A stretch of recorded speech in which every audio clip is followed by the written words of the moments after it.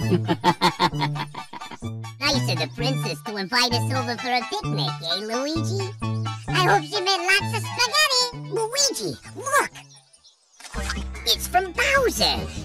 Dear pesky plumbers, the Koopalings and I have taken over the Mushroom Kingdom. The princess is now a permanent guest at one of my seven Koopa hotels. I dare you to find her if you can gotta find the princess. And you gotta help us.